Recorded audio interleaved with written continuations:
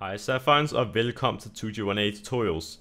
Mit navn er Asker og i dag skal vi lave en interior showcase på mit øh, middelalderhus, som øh, jeg lavede en tutorial på i går.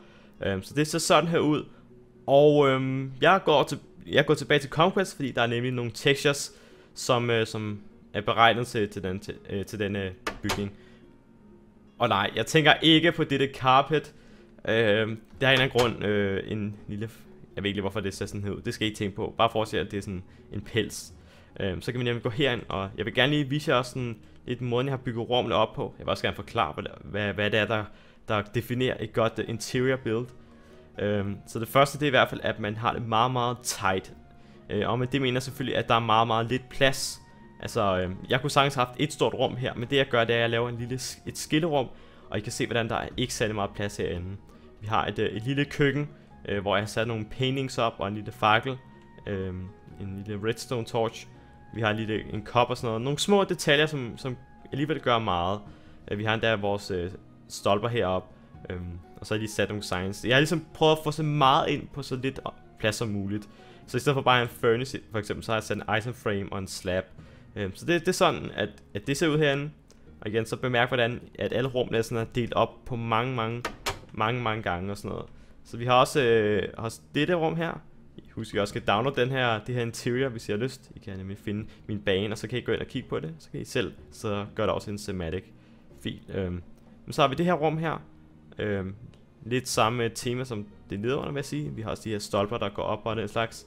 Vi kan åbne vores dør, som jeg har sat udenfor.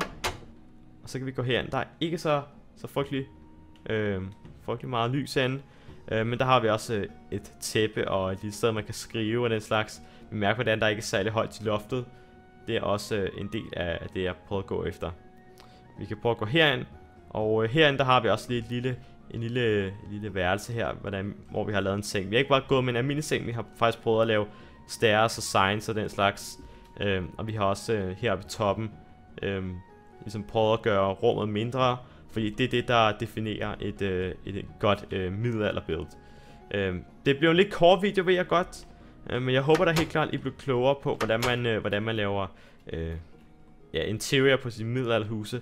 Jeg har faktisk også et lidt mindre build herovre, hvor jeg også kan se interior. Det er næsten det samme, det er bare mindre. Så jeg er gået her med det her. Ja, øh, lad mig lige kort, kort give et, øh, et eksempel på, hvordan man bygger et ordentligt middelalder interior. Øh, jeg, jeg er ikke særlig god til at lave interior, hvis jeg spørger mig selv. Men øh, det man ligesom skal gå efter, det er meget, meget øh, lavt til loftet, og også mange forskellige rum. Øh, I kan se, hvordan det næsten er det samme herover. Der mangler lige nogle blocks her. Øh, men det er også igen, øh, der er ikke særlig meget plads herinde. Øh, det her interior er ikke færdigt. Øh, men nu, I kan i hvert fald se, hvordan det ser ud uden, øh, uden toppen. Og I kan se, hvordan det er sådan meget mindre personligt, når det er så højt. Øh, det gør altså noget, at det er... Øh, hvad hedder det, at det er lidt, øh, lidt mindre indenfor. Øhm, så ja, jeg håber, at I igen I blev klogere på, hvordan man laver interior, og fik nogle gode tips til, hvordan man kan, man kan gøre det godt ved at lave nogle skillevægge og den slags. Det var mest en, en showcase, men jeg fik også lige sagt nogle ting omkring, hvordan man kunne man selv kunne gøre det, og komme nogle tips. Ja, så tak fordi I så med, og I må have en rigtig god dag.